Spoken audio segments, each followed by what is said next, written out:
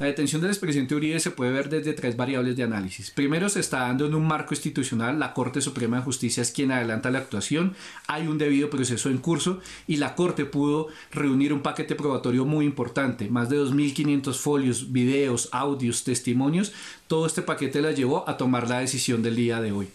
Lo segundo, la detención del expresidente Uribe no tiene por qué incendiar al país. Hemos visto casos de presidentes en Perú, el expresidente Lula en Brasil o el mismo Alberto Fujimori en Perú, que han sido procesados, condenados y pagan sus penas privativas de la libertad, pero los países y las instituciones han seguido adelante. No importa el caudillo de turno, los estados tienen que seguir. Y lo tercero, sin lugar a dudas es una situación muy compleja para la Corte Suprema de Justicia porque tiene una presión desde las dos fuerzas de poder.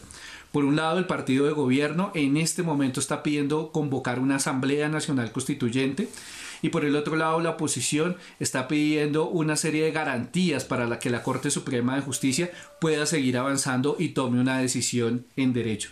Sin lugar a dudas es un escenario muy complejo en un país polarizado y en medio de una pandemia como la del COVID-19 que hunde al país en medio de temas de pobreza, de desigualdad y con un sistema hospitalario bastante débil. Entonces estamos viviendo uno de los escenarios políticos más complejos en medio de la peor pandemia mundial.